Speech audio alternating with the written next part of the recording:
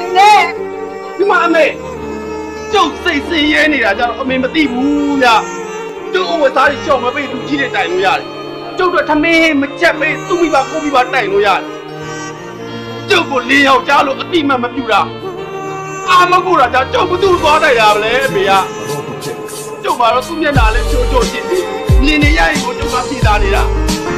ဒီတိုင်းကသူ့ဆိုင်တက်သွားမယ်ဆိုတော့မိရတယ်ကျုပ်ကသူ့ယောက်ကြားနေညာ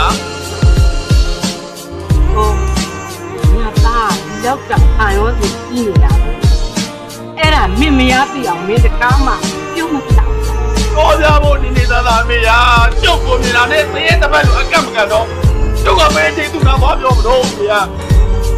ကျုပ်ကတော့သိမွေးတော့မှာမလို့ဆိုအကြတော့ကျုပ်ကပြလိုက်ပြီတန်ရောစီနေတန်ရောစီဒီအရ က်ကိုမတောက်ဘူးအမေစက်လုံးဆုံးမခဲ့တာမရဘူးအခုရောတယ်ဘလောက်စိတ်ငါစိတ်ငါကျုပ်ဘက်ကမြစ်တာမပြတ်ပါဘူးမေယာမြစ်တာမပြတ်ပါဘူး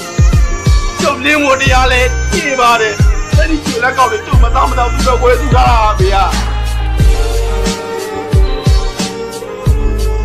မြစ်တာဆင် ရောင်မြန်ဟပ်ပါသားရဲ့ဒီသားရဲ့ဒီရှော့